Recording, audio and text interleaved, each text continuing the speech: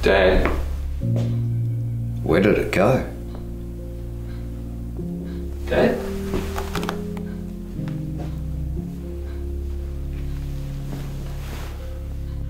Are you alright? I feel like that kid.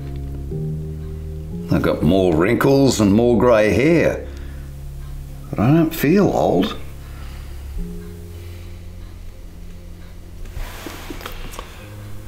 Well, we're all here, and the cake's ready.